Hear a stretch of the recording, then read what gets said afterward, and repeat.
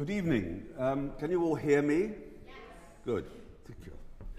Um, COVID means that we're not allowed paper, which means that I can't print poems on paper, but we are allowed to project poems. And what I want to do this evening is to talk about four poems two by uh, Goethe, one a folk poem from uh, the boy's magic horn, Des Knaben Wunderhorn, and one that purports to be by Mary, Queen of Scots.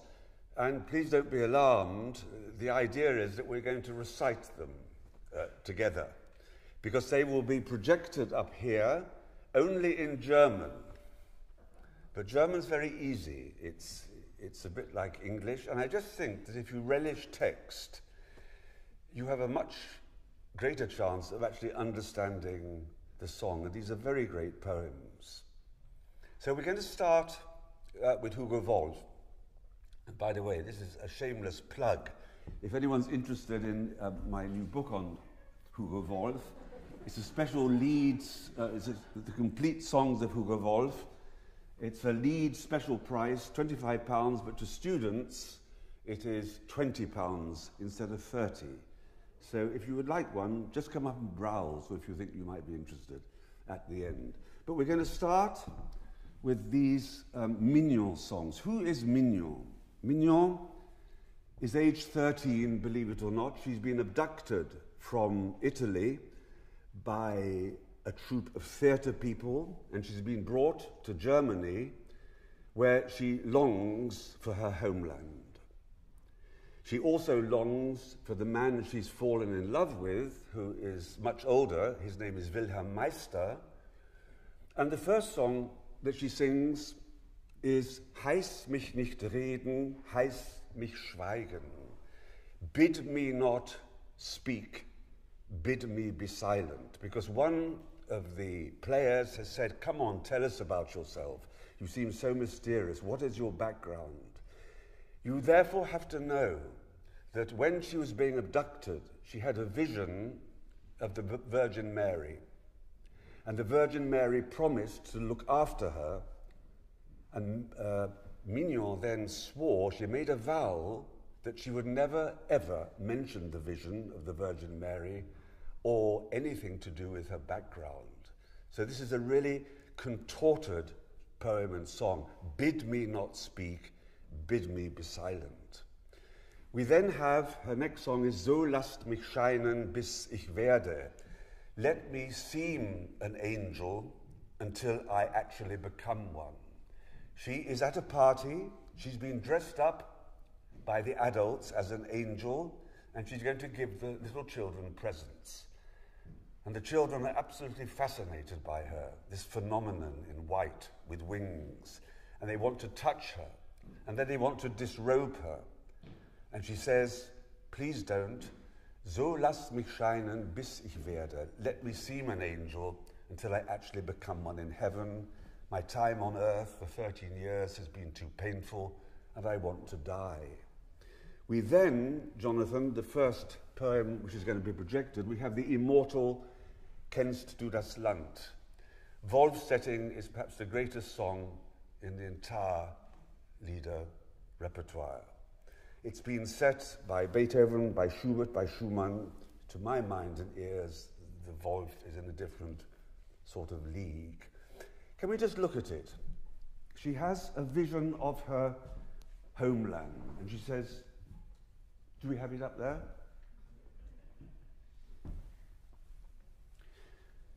German really is easy. Kennst du das Land? Do you know the land, wo die Zitronen blühen, where the lemons blossom? Im dunklen Laub, in the dark foliage, die Goldorangen glühen, they glow. Ein sanfter Wind, a gentle wind von blauem Himmel weht. Die Myrte, the myrtle, does it still stand silent and hoch and high, the laurel? On we go. Kennst du es wohl? And the refrain comes in every verse. It's, it's, it's the same. Kennst du es wohl? Do you know it? And she says, Dahin. Dahin möchte ich mit dir, o oh mein Geliebter, ziehen. That's where I want to go with you, my beloved. She's talking to this older man, Wilhelm Meister.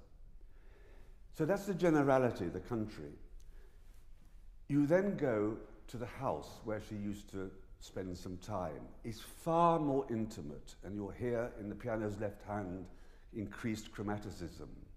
So kennst du das Haus, the house, auf Säulen ruht sein Dach. It's a Palladian villa. On pillars rests its roof. Um, um, es glänzt der Saal, the, the room gleams, es schimmert das Gemach, and the apartment shimmers. Und Marmorbilder, marble images, these are the Palladian statues on either side of the steps as you go up to a villa. Stehen und sehen dich an, they look and stare at you. And she asks, was hat man dir, du armes Kind, getan? What have they done to you? Dahin, repetition, dahin möchte ich mit dir um mein Beschützer ziehen, my protector. Why protector? Because Wilhelm Meister bought her freedom by paying the showman 30 crowns. And this extraordinary last verse where she depicts the mountains, the Dolomites, the Alps that bar her way back to Italy. Kennst du den Berg? Bergs, Edinburgh, it's, it's iceberg, it's, it's the same language. Kennst du den Berg? Kennst du den Berg mit seinem Wolkensteg, with its cloud-girt path, das Maultier, the mule, sucht im Nebel seinen Weg, seeks in the mist its way. Then it goes on, um, in Höhlen wohnt der Drachen alter Brut. The dragons live in caves. Es stürzt der Fels, the cliff is sheer, und über ihn die Flut. Do you know it? And then, not the subjunctive, not möchte ich mit dir, but dahin geht unser Weg. Present tense, indicative. She's on her way already. And the music is extraordinary. It's G flat shifts to F sharp minor, tremolandi, thunder out in both hands, and the music, ineffably overwrought, mirrors her ecstatic vision of her homeland beyond the Alps. It's extraordinary. So be brave. Here we go. Don't be shy. Can we go, go, go from the beginning? And I'll try and keep in sync with uh, Jonathan's uh, projection of it. If we don't finish this lecture, I might not get all the songs. It doesn't matter. Just insights in one or two. So here we go. Eins, zwei, drei. Kennst du das Land, wo die Zitronen blühen, im dunklen Laub die Goldorangen glühen, ein sanfter Wind von blauem Himmel weht, die Myrte still und hoch der Lorbeer steht? Kennst du es wohl? Dahin, dahin möchte ich mit dir um mein Geliebter ziehen. And then far more intimate now. Kennst du das Haus? Auf Säulen ruht sein Dach. Es glänzt der Saal, es schimmert das Gemach. Und Marmorbilder stehen und sehen dich an. Was hat man dir, du armes Kind, getan? Kennst du es wohl? Dahin, dahin möchte ich mit dir um mein Beschützer ziehen. And then just picture the tremolandi in both hands, Judah the mountain. Kennst du den Berg und seinen Wolkensteg? Das Maultier sucht im Nebel seinen Weg. In Höhlen wohnt der Drachen alter Brut. Es stürzt der Fels und über ihn die Flut. Kennst du ihn wohl? Dahin geht unser Weg. Vater, lass uns ziehen. And sopranos and mezzos, Vater is such a gift. You've got the closed vowels of Geliebter and Beschützer. Vater, lass uns ziehen. Her next song is also one of the most celebrated in the German language, and all the singers here and pianists will know it. Nur wer die Sehnsucht kennt. If we could have it, Jonathan. Just look at the poem first. Again, it's a poem of longing, Sehnsucht is this romantic German word for longing. So, can we have the first line? Thank you. So, just I'll explain. Only he who longing knows, weiß, was ich leide, know what I suffer. On we go. Allein und abgetrennt von aller Freude, alone and cut off from all joy, sehe ich ans Firmament. I look at the firmament nach jener Seite, in that direction, in other words, Italy. Es, ach, der mich liebt und kennt, the man who loves me and knows me, ist in der Weite, is far away. Es schwindelt mir, my head reels, es brennt mein Eingeweide, my innards, often translate, uh, uh, uh, burn. Nur wer die Sehnsucht kennt, weiß, was ich leide. It's misunderstood, this great poem and song. It's got nothing to do with the traditional romantic longing of German writers like Novalis. It's got to do with sexual desire. What you have to know is this that in the first version of the novel, Mignon sees her would be lover, uh, Wilhelm, flirting with this woman called Philine. And she simply can't cope with it. She runs off, and Goethe tells us that she spent the night in entsetzlichen Zuckungen, suffering terrible convulsions. The doctor then examines her and simply says that she is pathologically ill with desire for uh, Wilhelm. And I think the key word is Eingeweide. It's often translated as entrails. What I think it really means is her womb.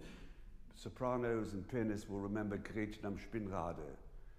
You remember the kiss? And then um, mein Busen drängt sich nach ihm hin. My bosom, my breasts yearn for him. But Goethe's original, which Schubert didn't know, was not that. It was mein Schoß Gott drängt sich. My womb yearns for him.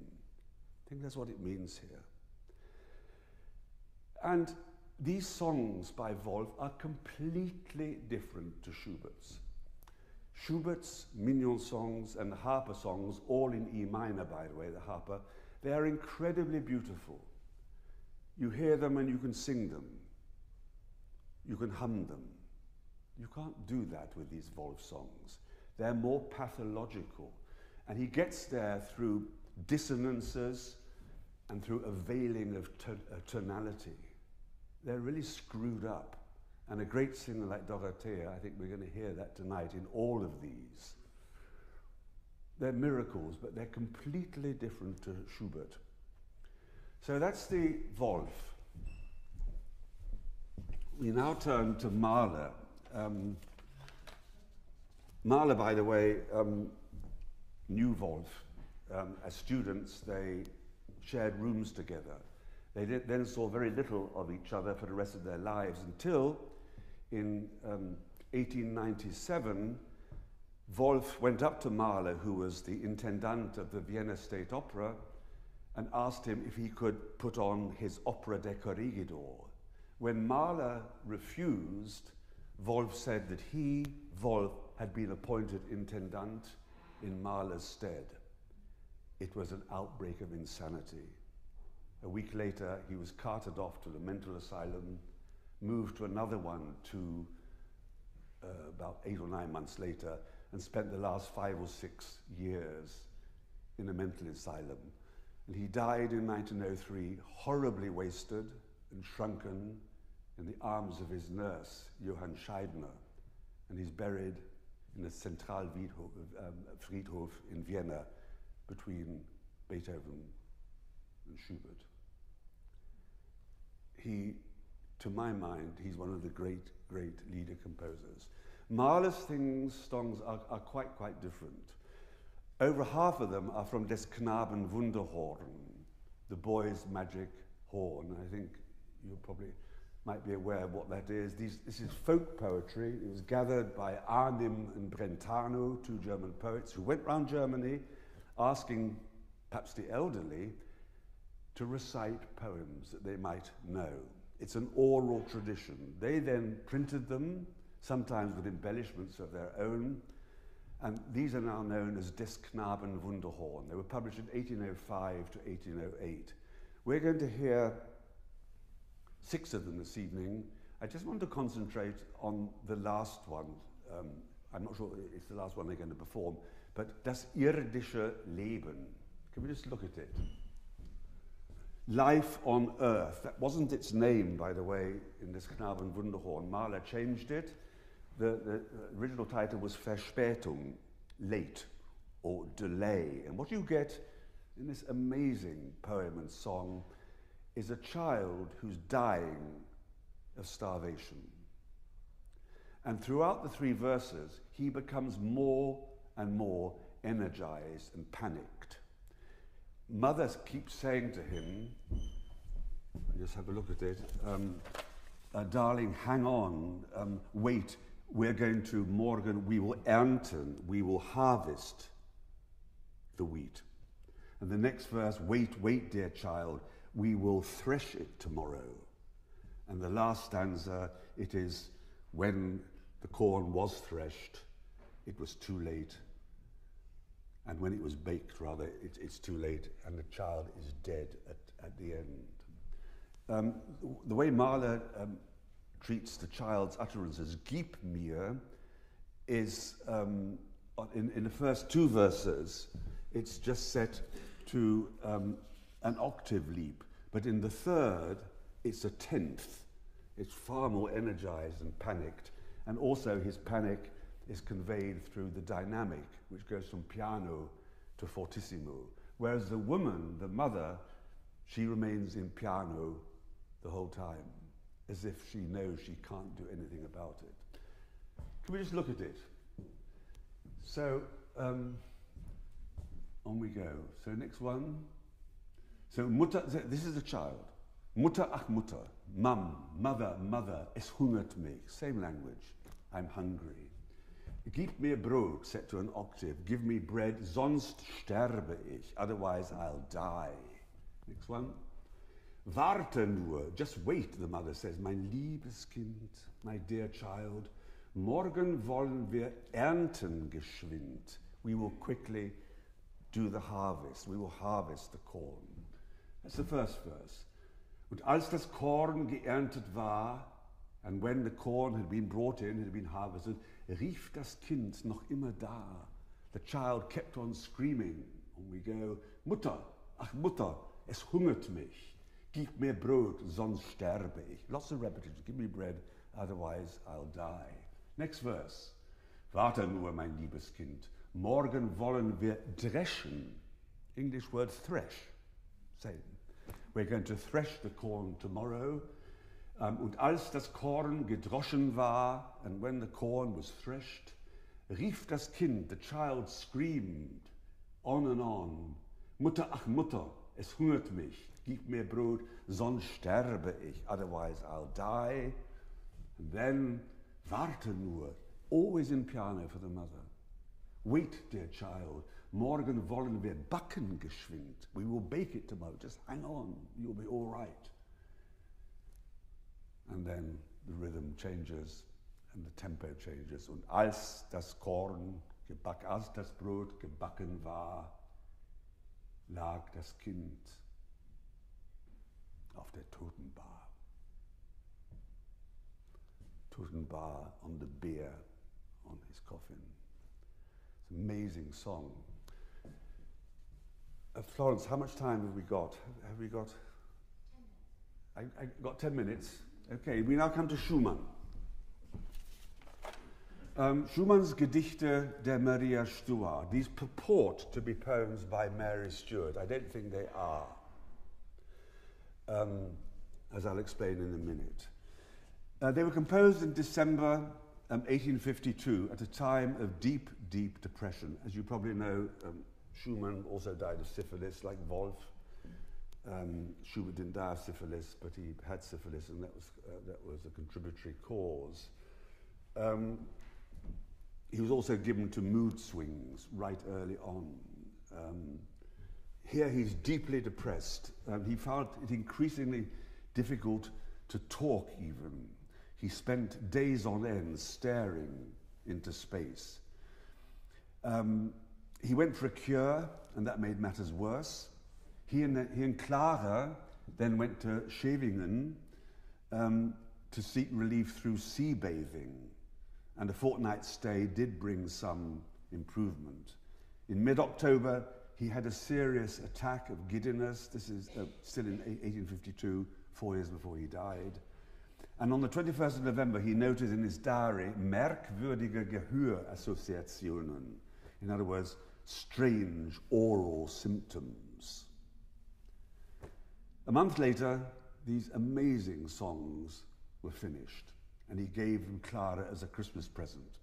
They're Schumann's last Lieder. And the five poems that are attributed to Mary, Queen of Scots, were translated by this man called Gisbert um, Freiherr von Vincke, and they deal with different times of her life. Abschied von Frankreich, Farewell from France, is set to flowing semiquavers, and it describes her departure from France, where she spent a very happy childhood. Nach der Geburt ihres Sohnes, after the birth of her child, is a fervent prayer to Christ, begging him to protect her infant son. And die Königin Elisabeth, which is marked passionately to Queen Elizabeth, is dominated by this dotted phrase which mirrors the restlessness of Mary as she expresses her fear of what life has in store. Abschied von der Welt, farewell to the world, she reflects on the grief that is destroying her in prison, where she spent 19 years of her life.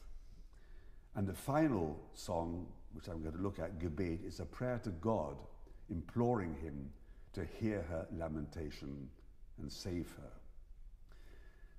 You probably know all this, but on the collapse of the Babington plot, Mary was accused of treason.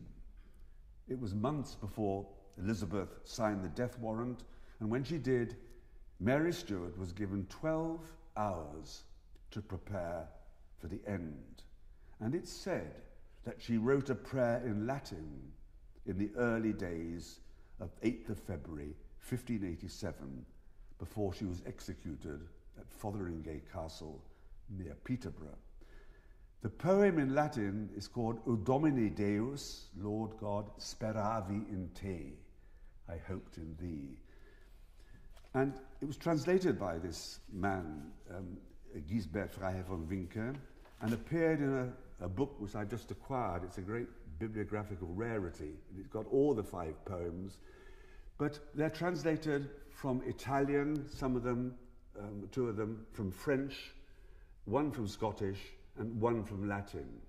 And I, I just think that she didn't write these poems. Um, as Antonia Fraser writes in her book on Mary, Queen of Scots, it's a wonderful book. I quote, in his extremely detailed account of the Queen's last hours, Bourgoing, the great historian, does not mention that she paused to compose or extemporize the Latin prayer traditionally attributed to her on the eve of her execution.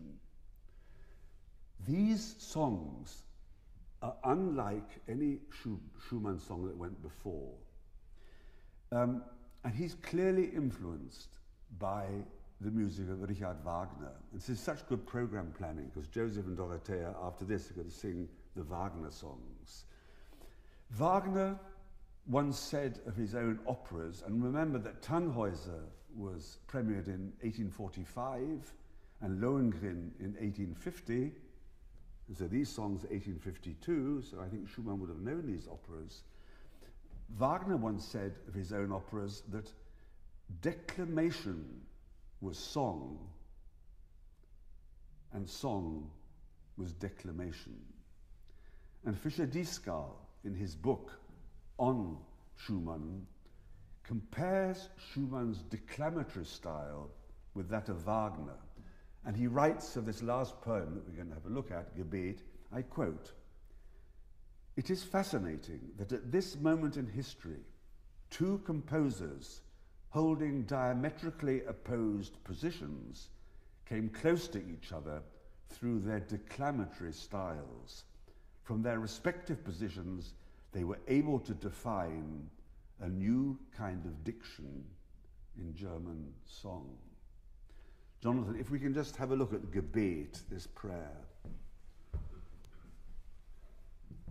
Quickly go over the words. O Gott, mein Gebieter, O God, my Lord, ich hoffe auf dich. It's easy, hoffen to hope. I put my hope in thee. O Jesu Geliebter, O Jesus, my beloved, nun rette du mich, save me. Im harten Gefängnis, in the hard prison, in schlimmer Bedrängnis, in awful um, anxiety, ersehne ich dich, I long for thee. In Klagen dir Klage, lamenting to you in my lamentations, im Staube verzagen, despairing in the dust.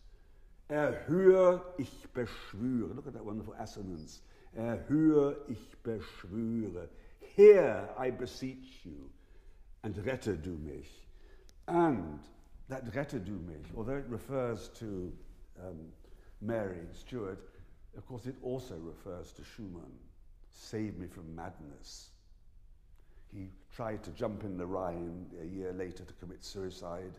He was yanked out by two fishermen and then was transported to Endenich outside Bonn, where he was not allowed to see his wife or children. So when you hear this, it's rette du mich, save me. Of course, it's the Queen, but it's also um, it's also Robert Schumann. So Fischer Dieskau um, has compared Schumann's songs with Wagner. The Wagner songs are the five Wesendonck Lieder. Mathilde Wesendonck uh, was 30 years old, I think, when um, Schumann, when Wagner got to know her. And with her, he had an affair. She was actually the daughter of one of his benefactors. It must have been incredibly intense, them all living together. I think last year at the Leeds Festival, um, uh, Ian Burnside uh, put on a little playlet about it. Um, and we haven't got time to discuss them because um, there are going to be questions if you like and I want to recite it. Um, I've got five minutes. Thank you. Um, she, um, he simply said of these, um, I have never done anything better than these songs, Wagner said, and few of my works will bear comparison with them. They inhabit the same harmonic world as Tristan und Isolde.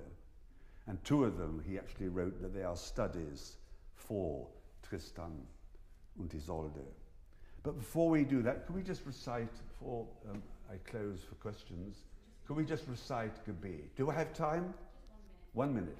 Perfect. Okay, imagine then 19 years in prison, the end has come, you're going to be guillotined, and think of Robert Schumann in his incipient madness, save me.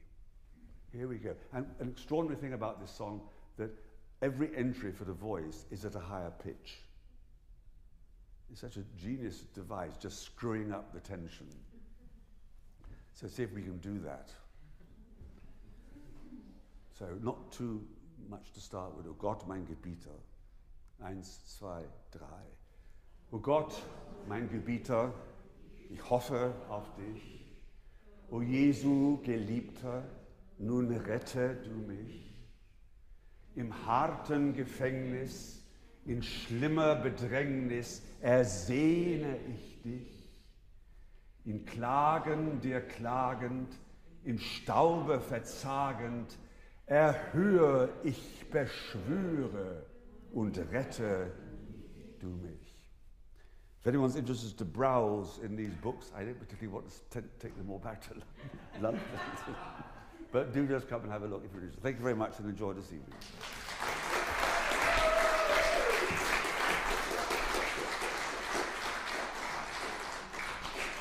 And if you have any questions, I think we have to move.